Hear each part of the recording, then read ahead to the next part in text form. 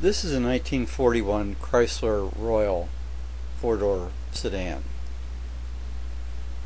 Beautiful car. And the uh, fog lamps are uh, smoked lenses, interesting. As well as the uh, headlamps. I really don't know the purpose of that. Perhaps it was a wartime thing. Notice the bumper guards, uh, actually three, one in the front and two on the sides. Beautiful two-tone combination and notice how the hood goes up on both sides. Kind of like a, a winged uh, approach when both sides are up there. There you see the Spitfire six-cylinder engine. An eight-cylinder engine was uh, also available.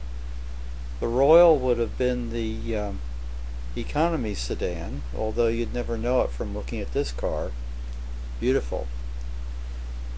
I think one of the colors is described as being caramel, and probably the other a very light, uh, very light tan.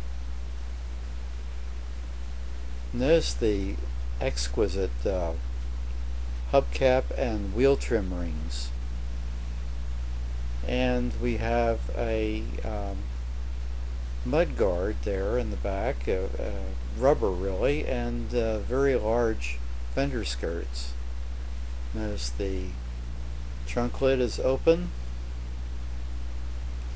It has a center stoplight, which was the which was the way they did it for uh, about a decade uh, in uh, Chrysler and a rich use of plastic here. And notice that the window when it goes down the partition between the vent wing and the front window goes down.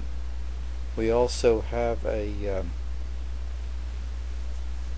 a visor there shielding the windshield. Notice how that uh, window and partition goes down there And when we go around the back, we see a uh, backup lamp.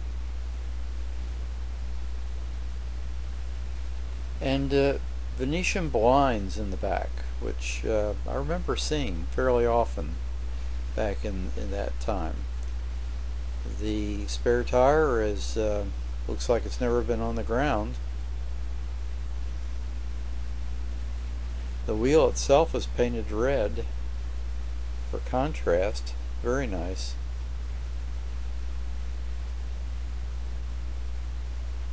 Just a, a really a beautiful car.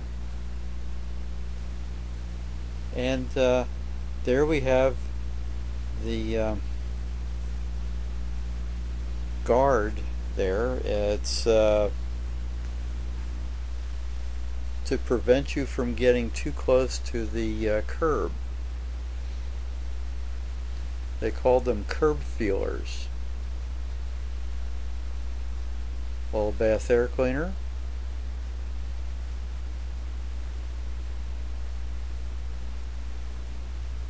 Engine accessibility was very good here with this hinged uh, hood hinged in the middle. And the paint on the car is exceptional.